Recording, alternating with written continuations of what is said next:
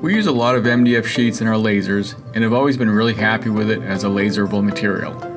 So we thought we'd share in a video what we like about it and why you should consider using it if you don't already.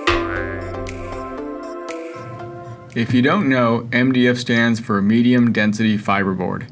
It's an engineered wood product, meaning that it's manufactured from scratch and isn't cut from a forest of MDF trees. Uh, duh. Duh. The number one reason why we like this material is probably the cost. We currently pay about $20 for a 48 by 96 inch sheet that we have cut down into smaller pieces that will fit in our lasers. That gives us a square inch cost of less than a penny. You'll be hard pressed to find other materials with that kind of cost. And given such a low cost, it makes it a no brainer to keep a small supply on hand for ad hoc projects or even for just running laser tests. You can find MDF in a lot of sizes and thicknesses. The most common thickness you'll find for laser use will be 8th inch and quarter inch. The overall sheet sizes will vary greatly. Full sheets will typically be a standard 48 by 96 inch in size, but there are a lot of options out there for sheets that have already been cut down to more manageable sizes. MDF is readily available from a lot of sources. You can get sheets locally or online. There's a ton of online sources for MDF. Laser supply sites will have them already sized for different laser bed dimensions, but you might be paying a premium for them. You're better off buying from a place like Amazon, where sellers are forced to offer more competitive prices. We'll provide links to some good options in the description below. It's almost a certainty that your local hardware store carries sheets in different sizes and thicknesses, and is a great option if you just need a few sheets or something quick. If you intend to use a lot of MDF, then we'd recommend seeing if you have a wood supply store nearby.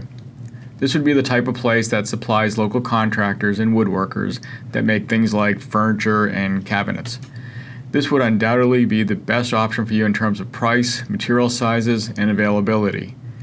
They might also offer a service where they'll cut larger sheets down to a size that will fit your laser. MDF works really well in lasers. It engraves really well and your laser will cut through it like butter. Unlike some cheap plywoods, there are no voids or air pockets that will screw up your cut jobs. When processing it, it doesn't give off a smell any different from other woods. And it certainly smells a lot better than acrylics. Because it's an engineered material, it's perfectly flat. Unlike plywoods that can be warped and make cutting difficult in the laser, warping isn't an issue with MDF. Again, because it's engineered, MDF has a perfectly smooth surface. This makes it great for applications where you want to apply a paper mask to keep the surface clean for post-laser printing or painting, or for paint filling after engraving. MDF is very paintable. However, even though it has a super smooth surface compared to other woods, it does require that it be prepped with some kind of sealer before painting to get the best finish. Unlike other unfinished woods, however, you won't get that paint bleed under a paper mask when paint filling or spray painting engraved areas. Whether you're making a one-off project or making blanks for product to sell, this is a great material. In the past, we've used it to make everything from computer cases to jigs for printers. We've also used it to make blank products for UV printing like coasters, signs, and bookmarks. There are really endless laserable uses for this material. Thanks for watching. Let us know in the comments what you think and what your go to laser material of choice is.